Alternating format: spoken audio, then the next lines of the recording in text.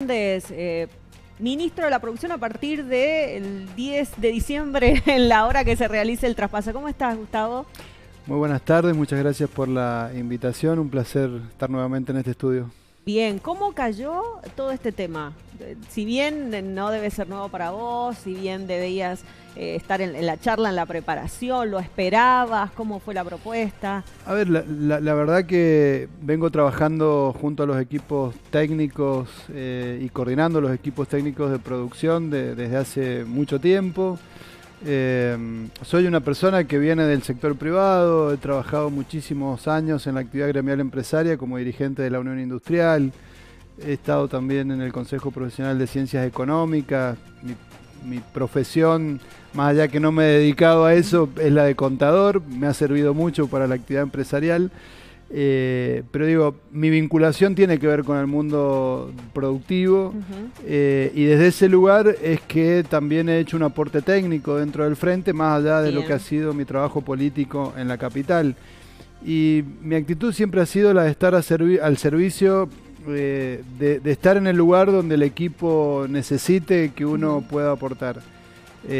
lo he llevado siempre con mucha tranquilidad, tratando de no ponerme ningún traje antes de tiempo y, colaborando donde Marcelo Rego, Fabián Martín y, todo el equipo que ellos conducen eh, necesite que uno aporte. Eh, con esa tranquilidad, este, no hace mucho, apenas unos días antes del anuncio, Marcelo eh, me, confesó, digamos, su intención de, sumarme como ministro de producción. no fue una, una, sorpresa, pero sí de alguna manera un, voto de confianza, un sentimiento de responsabilidad y gratitud eh, por la tarea que, se me encomienda, que no es menor. Exacto, ahora como que vas a estar del otro lado del que estabas antes, ¿no? ¿Y cómo son las expectativas entonces? Bueno, de alguna manera, este, cuando en algún momento de mi vida, yo de allá por el 2017, 18, eh, resolví junto con, con mi familia empezar a involucrarme en política, eh, lo hice con la convicción de que uno, si va a entrar a la política, tiene que hacerlo para, para entrar y entrar en serio. Y entrar en serio es estar disponible justamente para lo que decías recién, para aportar en el lugar donde, donde uno pueda ser más útil y el equipo lo necesite. Entonces, eh, lo vivo, digamos, con, con, esa emoción. Es algo, eh, digo, no es lo mismo el sector privado que el sector público. Mi experiencia está en el sector privado pero no vengo a tratar de hacer en el sector público las cosas como se hacen en el sector privado, porque si no voy a chocar el auto a poco de arrancar. Entonces ahí de lo que se trata es de, buscar equilibrios, de, aportar experiencias, de aportar miradas, eh, de formar equipos y en esos equipos, más allá de equipos multidisciplinarios como los que tenemos de distintas profesiones, también es importante encontrar experiencias de gente que esté eh, y que haya pasado por la administración pública. Eh, y en esos equilibrios creo que puede estar también el éxito de la, de la gestión. Bien, y en, eso te has basado para formar, digamos, el, gabinete que te va a acompañar, los, funcionarios. Tal cual, digo, lo, que hemos buscado primero la que sea un, un equipo interdisciplinario. Tenemos enólogos, tenemos ingenieros agrónomos. Eh, ingenieros químicos, ingenieros de otras especialidades, electrónicos, pero también tenemos contadores, economistas, abogados, porque claramente es el perfil del, ministerio. Eh, tenemos licenciados en ciencias políticas, por supuesto que licenciados en comercio exterior, es decir, un equipo con, diversos perfiles y también hay eh, algunos productores que sin ser profesionales, son profesionales del campo, profesionales eh, que también han encontrado, han descubierto una vocación de dedicarse a lo público y trayendo su experiencia empírica, su experiencia del contacto con la tierra en el día a día, que va a ser muy, muy positiva. Lo que tratamos es de ser un equipo eh, abierto a la escucha, abierto a aprender y a capitalizar ese aprendizaje en políticas este, que sirvan al sector o a los sectores, porque tenemos una diversidad de sectores dentro del ministerio. Claro, ¿tu ministerio va a absorber eh, ciencia y técnica? A ver, el ministerio, Marcelo dijo el viernes, se va a llamar producción, trabajo e innovación. Esto de que tenga la palabra trabajo y la palabra innovación no significa que vayamos necesariamente a absorber áreas. Claramente no vamos a absorber el área de la subsecretaría de trabajo que tiene un rol de policía del trabajo en el, Ministerio de Gobierno. Eso va a seguir seguramente como está. Eh, con respecto al área de ciencia y técnica, eso es una decisión que tomará el gobernador, que tendrá que ver con, la definición del organigrama eh, final que, que, él va a presentar. Lo que sí nos ha dejado claro el gobernador es que él quiere que cada vez que entremos al ministerio, cada vez que pongamos un sello, cada vez que escribamos un correo electrónico, cada vez que, veamos el nombre del ministerio en algún lugar, veamos el objetivo del ministerio. El objetivo del ministerio es crear fuentes de trabajo, fuentes de trabajo genuina, que provengan del sector privado, trabajo en blanco, que es el gran déficit que tenemos en la Argentina, pero particularmente también en la provincia de San Juan, y al mismo tiempo que eso sea sobre la base de la innovación.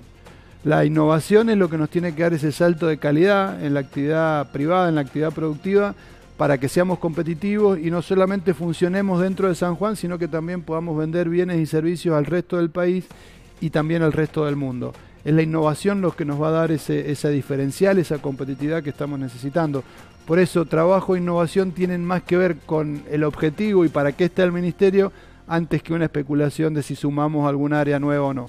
Bien, bien entras el 10 de diciembre y ahí es como que saltando y cabeceando, ¿no? Porque tenemos, por un lado, las fiestas, el sector comercial.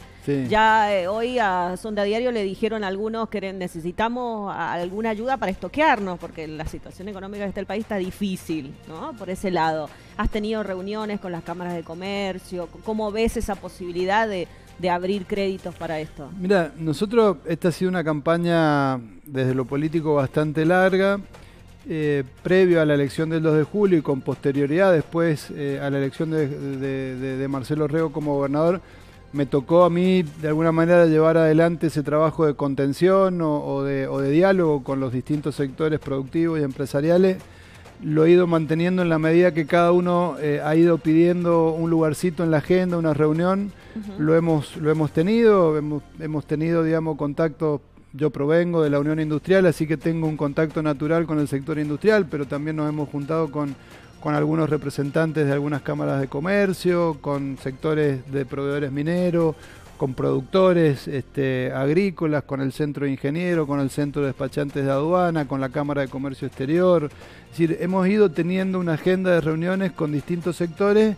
Seguramente habrán algunos este, con los que no nos hemos reunido eh, y digo, aprovecho acá, cualquiera, este, digo, nos hemos reunido con todos aquellos que han demandado ese, ese momento y ese espacio. Eh, la verdad es que lo seguimos haciendo, por supuesto, después de mi designación se ha incrementado la, demanda. Hemos optado estos primeros días por, por atender la agenda de medios y, y de darles a ustedes la posibilidad también de que, de que comuniquen, digamos, quiénes son las nuevas figuras y sin duda que estamos, estamos trabajando tanto con temas vinculados al sector comercial de acá a fin de año, como también temas vinculados al sector vitivinícola, que tiene una próxima campaña, una cosecha que, viene este, ya, ya cerca, ¿no? Pero, digamos, ¿ves factible poder abrir algunas líneas de crédito, algunas Hoy existen dentro del Ministerio algunas líneas activas que están dando para capital de trabajo, para inversión, al cual el, sector comercial está, está acudiendo. Nuestra intención es darle continuidad a todas esas políticas activas, por supuesto eh, revisando un poco la posibilidad de que eso pueda tener una mejor cobertura. Eh, por ahí hay alguna queja de algún sector de que no siempre llega eh, en el tiempo y, con la capilaridad que, es necesaria. Tendremos que ajustar esos detalles. La intención es, como dijo Marcelo en campaña, nuestros cambios van a ser con certezas y es construir sobre lo hecho, no es venir a destruir para hacer algo nuevo, porque eso nos lleva a perder tiempo. Hay cosas que se han hecho y se han hecho bien, hay que continuarlas y mejorarlas y hacer las cosas que faltan.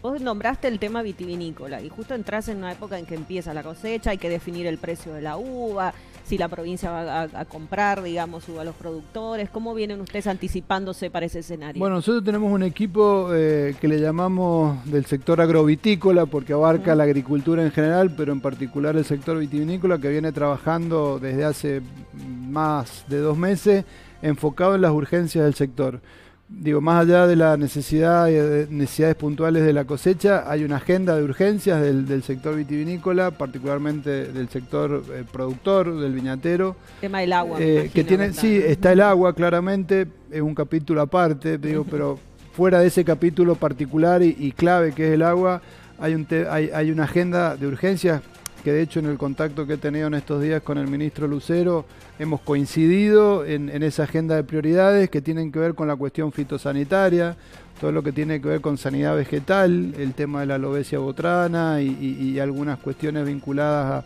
a, la sanidad de los cultivos. El tema de contingencias, digo, estamos en época donde puede caer piedra, han habido algunas heladas tardías que pueden afectar los cultivos, entonces ahí hay una acción de cobertura de contingencia.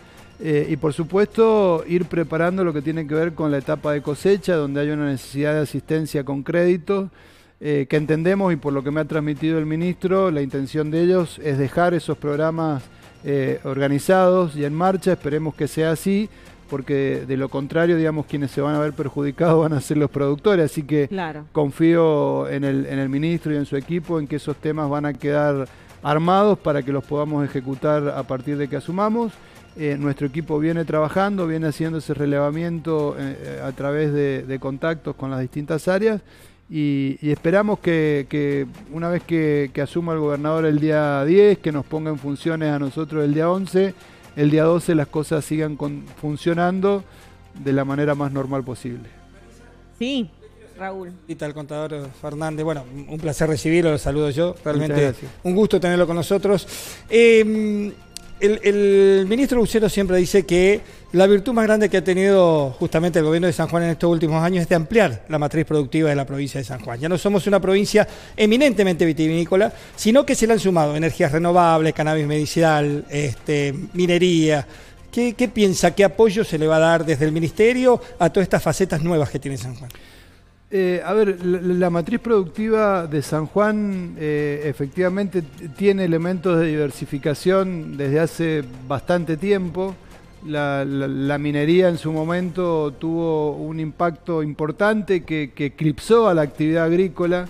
Indudablemente que hemos aprendido a lo largo de este tiempo que así como no podíamos vivir del monocultivo, tampoco podemos vivir de la monoactividad, como en algún momento apareció la minería. Eh, nuestra visión es que, hay que, que hay que profundizar esa visión de desarrollo eh, diversificado, eh, pero de alguna manera establecer cuáles son las áreas estratégicas que van a traccionar la economía de San Juan. Ahí creo que hay un consenso de todos en la provincia en que la agroindustria, que es decir, es el campo más el valor agregado de la industria a, nuestros productos de la tierra, es una actividad crítica y estratégica, la minería también lo es. Mm el turismo también es una actividad estratégica para la provincia, las energías renovables y la economía del conocimiento. La economía del conocimiento en realidad es una actividad, una actividad son actividades que atraviesan a todas estas otras, pero también la industria, el comercio, los servicios atraviesan. Nuestra mirada respecto de eso es que para mejorar esa visión de desarrollo diversificado, y este es un mandato clave que, que nos ha puesto Marcelo Rego, es primero tener una visión estratégica, coincidir en cuáles son los tractores de la economía.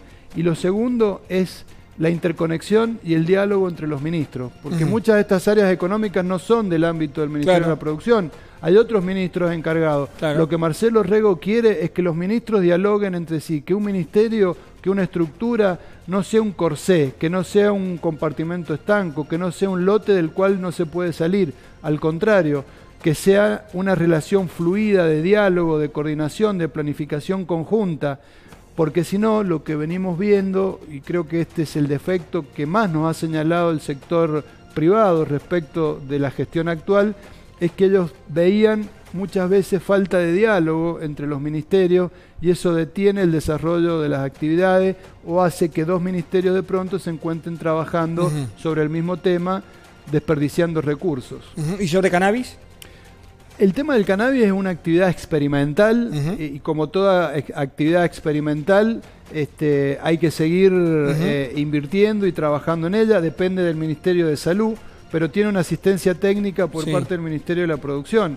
Digo, eso es una actividad experimental que en la medida en que esos, esa, esa, ese proceso científico experimental de frutos concluyentes, seguramente se abre ahí una oportunidad. Pero ustedes han estudiado el impacto que puede llegar a tener la producción de cannabis, digo, porque San Juan es una de las provincias, tres o cuatro provincias que estarían muy metidas en este tema, ¿no?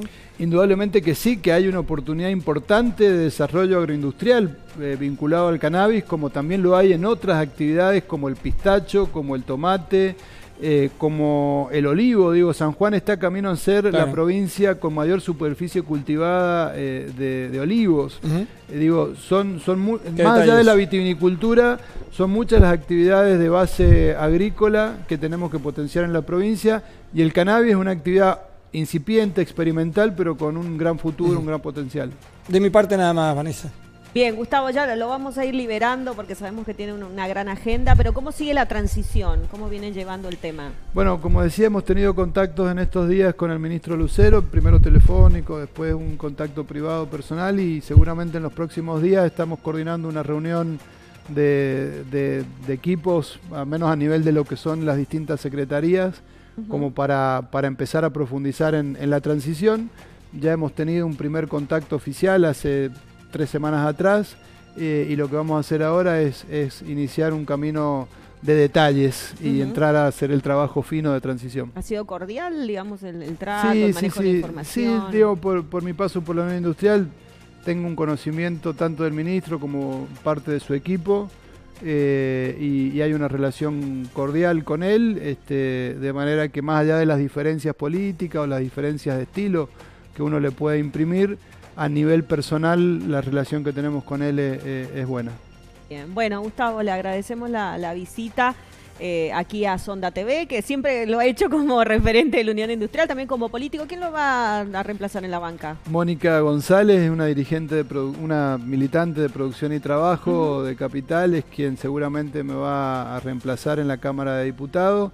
Si no es ella, el otro suplente es Guido Romero, ah, también un dirigente eh, de Capital, eh, que, trabajó mucho con nosotros también junto a Susana Glaciar y fue una persona clave en el triunfo de Susana Glaciar en Capital.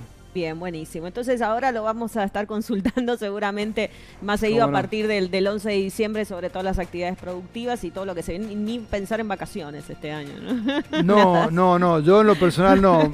Mi familia probablemente se vaya unos días, pero claramente eh, uno cuando suma un trabajo nuevo, lo primero que tiene que tener claro es que no se puede ir de vacaciones. justo, justo engancha esta, esta época. Bien, Gustavo, muchísimas gracias. Gracias a ustedes por la invitación. Bien, Raúl. Eh, nos vamos a la pausa después de la nota.